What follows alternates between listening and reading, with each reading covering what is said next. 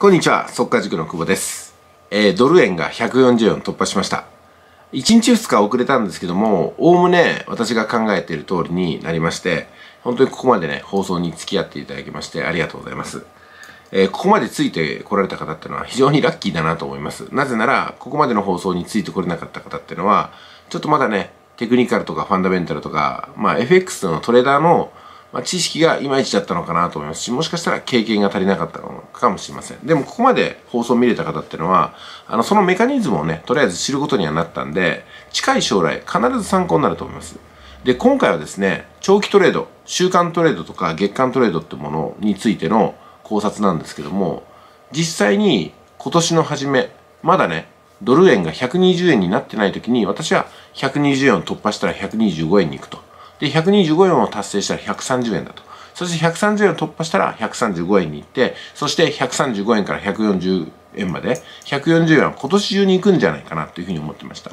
実際はこの速度っていうのはかなり速かったんで、140円は7月までに行くんじゃないかなっていうふうに軌道修正して、大体私の年の初めに考えていた1年間のスケジュールが半年に縮まったような感じですよね。つまりそれだけ早く稼げるようになったってことと、そこまでえー相場のことが先取りして見えないと、この利益も逃すことになって、逆にロスカットってことになるんじゃないかなっていうふうにね、思えることができるんじゃないかと考えております。で、今回ね、ちょっとチャートを見ていただきたいんですけども、画面を切り替えましょうか。こちらですね。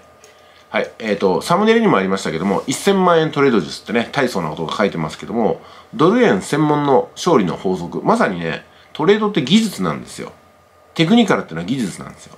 ただし、長期になってくるとね、これ技術だけじゃなくて、どちらかというと、ファンダメンタル、ね、情報が勝負するような形になってきます。もちろん、長期とかになってくると、それなりの資金量とかね、技術とか精神力が必要になってきますので、今この画面を見ていただいている方で、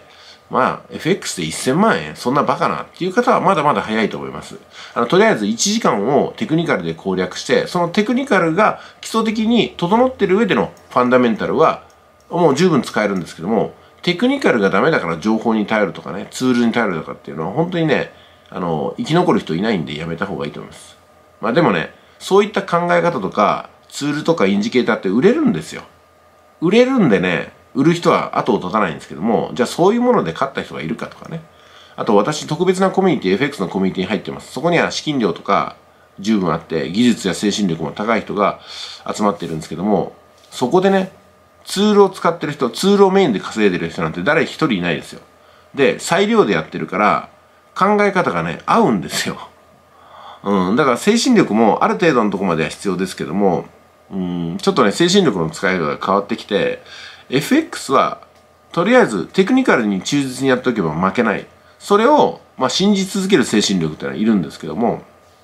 なんかね、その、精神で怖さに対抗していくっていうのはちょっと変わってくるかなと思います。ロスカットに対する精神力とか、エントリーするときに本当に大丈夫だろうかって精神力はすでにないですね。私たちになると。ちょっと余計なことを話しましたけども、あの、結局、今年の初めに120円にも行ってないときに120円突破したら、ね、140まで行くんだっていうふうな、あの、目算を立てたのは、先ほどお話しした通りですけども、この幅が取れるわけですよ。ね。で、この幅で取るときに、例えば1ロットみたいなことはやらないわけですよ。うん。そう考えたらね、結構な利幅が取れたってことは想像できると思います。ここに1000万円トレード術って書いてますけども、1000万円ですよって話じゃないですからね。すいません、ちょっと動きました。だから2000万、3000万とか、うん、そんな感じなんですよ。で、基本的にこれ放置ですから。1週間軸とか、1ヶ月軸とかでね。で、週間とか月間とかのエントリーになってくると、1週間に1回チャート見に来るとか、1ヶ月に1回とかチャート見に来るっていう風なテクニカルがもうほとんど使えませんよね。だからテクニカルは1時間とか4時間とかだったら有効なんですけども、ここまでの長期になるとね、1週間とか何ヶ月とかになると、まあテクニカルも当然なくちゃいけないんですけども、でもファンダメンタルに、あの、頼る要素が大きいと思います。じゃあそのことをね、次の動画で解説していきますので、ちょっと画面を切り替えていきましょうか。今度はね、日経新聞からの記事になります。ではまた後でお会いしましょう。こちらです。はいどうも、ドル円が140円を超えました。日経新聞にもそのことが取り上げられてまして、かなりタイムリーだなと思いましたね。で、今回ですね、この140円台に行くにあたって、あの、120円前後で私の場合仕込んでいるってずっとこの半年間申し上げてくる機会が多かったんですけども、長期になればなるほど今度はね、ファンダメンタルの要素も結構大事なんですよ。そのことについてお話したいんですけども、今回この日経新聞の記事が私のね、言いたいことをすごくポイントにまとめてお話してくださったんで、えー、これからお伝えしていきたいと思います。えー、この記事のポイントっていう見出しが3点ありますね。で、記事は長いんですけども、もし興味があれば読んでいただければと思いますが、この記事のポイント3つがまさに私の伝えたいことだったんですよね。ただし、長期のトレードってのは、それなりの資金力と、抱えられるリスク、精神力、技術、こういったものが必要になってきますので、まだドル円でね、1時間で十分利益が取れないとか、ロットがしっかり積めないとかね、精神力ちょっとまだ追いついてないんだよなって方は、まあ、近い将来、ファンダメンタルで、えー、このね、長期のトレード、何週間とか何ヶ月みたいなところにトレード挑戦することもあるかもしれないなと思いながら聞いていただければと思います。さあ、それではね、記事のポイントを話していきます。まずは、1998年8月以来の水準、今年に入り25円下落って書いてますけども、実は2022年は30円ぐらいは上下するんではないかなっていうふうに言われているわけなんですよね、実は。月始めに、年始めに言われていたのは、今年は140円いくんじゃないか、150円いくんじゃないか、中には200円を超えるんじゃないかなっていうふうなね、アナリストさんがいろんなところで記事を書いてたわけですよ。で、そういったものを1月2月読み込んでいって、そして、えー、感染症のこともありますしね。感染症が起きると何が起きたかっていうと、ロックダウンをはじめとして、えー、流通の形がグローバル経済とは全く変わってきて、ブロック経済に近づくことになっていくわけなんですよ。そうなると大きく荒れるものがあって、その一つがドル円のバランスってことになります。ね。あの財政出動もアメリカでは結構派手にしましたよね。で、それからアメリカのドルを使ってる国も財政出動を結構してます。そういったのをファンダメンタル的に情報を集めていくと、円はこれからどんどんどんどん売られてね、それからドルはどんどんどんどん買われるっていう流れがぼんやり見えてきたところに、おそらくこれは今は120円もいってないけども、今年の初めですよ。120円もいってないけども、120円は突破して125円、130円、135円と進んでいくだろうな。しまいには今年中に140円に行くんではなかろうかというのが目算として捉えられたんで、あの、年のトレードをするつもりでね、10ヶ月とかっていうスパンでトレードをするつもりで、えー、月間、月間の玉を持ったわけですよ。で、今年、今、ずっとトレードをしながら、長期の140円で決済する玉を持ってますよってことはね、えー、お話しすることが結構あったわけなんですけども、今回それが達成できたということになります。まあそうするとね、サムネイルのタイトルにもありますように、まあ1000万で書いてますけどもね、まあ1000万規模の利確ができたってことなんですよ。これは多分ね、私と同じようなレベルでされてるトレーダーさんも同じようになってると思いますよ。そんなに人数は多くないと思いますけども、実はね、FX のトレーダーで、私と同じぐらいの資金量、私と同じぐらいの技術、私と同じぐらいの精神力を持った方っていうので固めている、そのグループ、コミュニティがあるわけですよ。で、そのコミュニティで、まあ、やり取りすることがあるんですけども、まあ、特にね、特別な情報があるわけではありませんけども、本当雑談程度なんですけどもね、そこで語られているのは、大体の方向性なんですよ。みんなでこういう風になるんではなかろうかっていうので、結構意見が一致するんですよね。というか、一致しかしたことがないんですよ。まあですんで、長期はそういった形でファンダメンタル組んどいて、えー、玉を組んどいてね。それから1時間とりあえずそれとは別に、テクニカルにこだわるため、テクニカルを忘れないためにやってるってところがあります。あの、やっぱりね、あのー、何週間何ヶ月っていうテクニカルって、だって週に1回とか月に1回しか、基本的には変化がないわけじゃないですか。ローソク足1本が1週間とか1ヶ月になってくると。そうなってくると、頼るのはファンダメンタルに変わってくるんですよね。はい。で、まとめても言いますとね、この記事の1点目なんですけども、あの、今年に入り25円下落とかね、それから時は、年始めに、今後、円安が進んで150円とか200円に行くんじゃないかなっていうふうに不安を煽る人が出れば出るほど本当にそうなっていくんですよ。なぜならそういったアナリストの記事を見ながらね、えー、まあ、中堅以下のトレーダーさんっていうのは自分の方向性決めるからなんですよ。でまさにどっちに向かうかっていうのは最初は噂から出るんですよね。こういったトレーダーさんが今年中に140円いくんじゃないですかって言ったら本当に140円の方に向かっていってね。で、皆さんも選択に困った時、私もそうですけども、バイかセルの選択に困った時に、多くの人が考えてるだろうという方向に舵を切るんですよ。つまりは、円高になるっていうふうに考える人とか、あまりいないわけですよ、今年は。っていうことは、円安になるっていうので多くの人の意見が一致するということは、円安の方向に、つまりはドル円で言ったら buy の方向にね、迷った時は、舵を切るってことになります。まあ私もね、ほとんどの場合で、 buy っていう風に言ってきましたね。 buy and buy、buy and buy buy みたいな感じでタイトルつけることも多かったんですけども、あの、なんと言いますかね、私が sell で取ったっていうのは明確に言うと、 buy でナンピンまでして、それでもロスカットを食らったから sell を入れたみたいなとこなんですよ。なんでそうなるかっていうと、なんでそこまで極端になるかっていうと、長期の buy の玉を持ってるからなんですよ。1時間とかでね、 sell でロスカットを食らっても、まあ言ってみればへでもないわけですよ。もっと言ったらその1時間の玉っていうのを残しっぱなしでもいいわけなんですよ。ただし、私ね、放送してるって面もあるんで、あの、私の無茶苦茶な、あの、 buy and buy ね、それから sell に行かないでナンピンするっていう、あの、一瞬のあの場面、たった一回きりですけど、皆さんにお見せしたのは、あれが深く印象づいてもいけないんで、あんまりしないようにはしてるんですよね。うん。まあそういう放送の責任っていうのがありますんでね。だから、あの、やっぱ見せれないところとかね、これは真似されたら、勘違いされたらやばいなとか見せてないところもあります。まあ、ただし様々な、あポジションを取りながらやっていって、で、あとはね、お見せする用のチャートってのも用意してるってことになります。ちょっとまた余計な話が入りましたんで、次行きましょ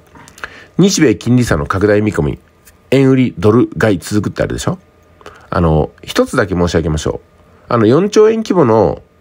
うん、海外支援を岸田政権決めましたよね。アフリカを中心に。あの、そこでですけども、4兆円って、円で4兆円持っていくわけではないんですよ。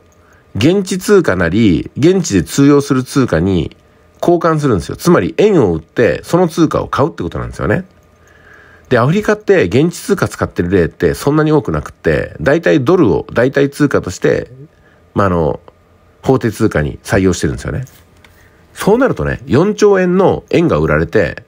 いくばくかの何兆円かのね、ドルが買われるっていうふうに想像つくじゃないですか。これファンダメンタルですよ。テクニカルでは解釈できません。あの、チャート上には現れてこないですから。で、これがいつ行われるのかっていうことに、ものすごく関心があるわけですよ。私たちはね。で、そういうのを織り込んでいくと、基本的にはね、これからも円が安くなるだろうということ分かります。だって4兆円も手放して外貨にするわけですから。ね、とりあえず円は安くなります。で、そこに加えて円を売って、アフリカでドルを採用している国に支援するときにはドルを買うことになるでしょ。そしたら、今回の円安っていうのはまだまだ進んで150円とかに向かっていく。つまり4兆円の介入をしたと同じとは言いませんけども似たようなことが起きるんだろうなっていうふうにファンダメンタルで解釈するわけですよ。ね、これも、だから、あの、FX トレーダーのね、えー、中級上級編の限られた有料のコミュニティの中で意見の一致するとこなんですよね。まあ、一致しかないんですよ、そこでは。本当に。はい、次です。商品価格高騰で日本の貿易赤字拡大も円安材料って書いてますけども、あの、日本の貿易赤字が拡大したら円安になるっていう風な先入観をマスコミが植え付けて、本当かどうかはわかりませんけども、本当にそうなってるんですよ、今ね。本当に日本が貿易赤字を拡大すると、それだけで円安になるのかどうかっていうのは、今のところ分かりませんけども、ただね、貿易赤字が拡大したら円安になりますよっていうふうに報じることによって、世の中、市場っていうのは本当にそうなっちゃうんですよね。真実とは別に噂で動くっていうところですね。で、この3点があるんで、今年140円から実はね、もうちょっと150円、200円っていうのは、200円はさすがにないですけどね。160円、170円っていうのは大いにあるだろうなと、私は思ってますよ。私だけじゃなくて、同じようなトレーダーさんも思ってます。170円とか今度ね、ポジション立てようかなみたいな。ただ、ファンダメンタルの材料が他にちょっと揃いにくいんで、もしかしたらどっかで介入が入ったり、あのー、やっぱりな何がしかのね、力が働いて、そろそろ円高にしようかなみたいなね。国際金融資本じゃないですけども、なんかそういった力学が働いて、150円程度で抑えられたりね、私たちにはもう理解できないような120円台に向かうとか、それあり得るかもしれないんで、リスクエッジは大事なんですよ。なぜなら私たちは、私たちっていうのは私と、それから私と同じレベルの人が集まってるコミュニティっていうのは、その別に経済を支配してるわけでも何でもなくって、私たちのコミュニティの上にはさらにね、資金量があって、さらに精神力が強くって、さらに技術のある人たちがいて、しかも動かす金額がもうね、私では想像できないような 金額ですからね。で、そういうとこと考えたら、まあ私たちがね、見れるのっていうのは、その FX をこれからね、始めようかなってする人とか、そろそろ中堅になってきたかなっていう方々よりはちょっと見えてるかなっていうところに過ぎないわけですよ。まあ、普通の人ですからね、私たちもね。やっとなんとか、あの、一つの水準に立ったところですから、だから全部が見えるわけではありませんけども、こういうふうなね、表に出てくるような記事の方向性を先取りするぐらいはできるかなって思いますんで、今回ね、120円台から140円台までのこの20円の値幅を半年以上かけて取ってるってことになるんですよ。はい、私だけじゃないですからね、これね。うん、だからね、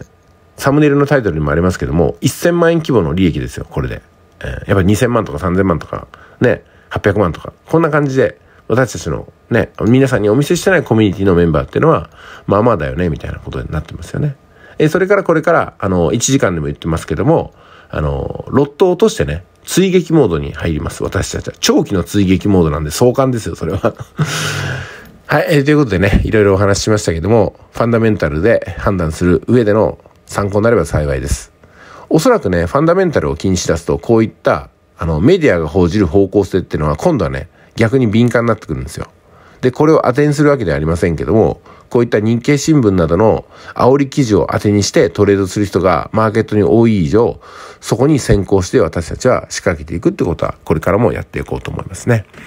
はい、どうも、ここまで聞いていただきましてありがとうございました。はい、どうもいかがだったでしょうか。私の運営しているコミュニティ FX オリガルヒっていうのは、1時間軸でね、えー、考えていくっていうこの基礎を固めるために作っております。で、その基礎が固まるまで何年でも何十年でもやっていこうと思いますし、何十年も生きてないと思いますけど、とりあえず私がこれから迎えるね、50代。これは FX を中心に、FX の放送を中心にやっていこうと思いますし、今 FX オリガリティで学んでくださってる方も18名いらっしゃるんですけどもね、でもまだまだ私の方では余力がありますし、これからもっともっと余力を作れるように暮らしも立て直していきますので、FX オリガルヒで FX の基礎を身につけて、とりあえず FX でやれば儲かる、やらなければ儲からないみたいな形を作って FX をね、あの、専業の稼ぎ方にできるようになりたい方は、また、あの、募集をそのうちしますんで、そのうちですけどね、しますんでね、あの、来ていただければと思います。とりあえず、今募集はしてませんけども、入会希望される方は35万です。で、入会する気なくなるですよ。こうやって値段バーンって言ったら。でもね、35万どころじゃなくて、儲かりますからね。儲かる儲かるって言っちゃあれですけども、学んで儲かる人と、学ばずにいつか儲けようとする人のせめぎ合いが FX ですから。皆さん、時間は有限ですから、まず時間を大切にしていきましょう。それでは、あの、長々とご覧いただきまして、ありがとうございました。お疲れ様です。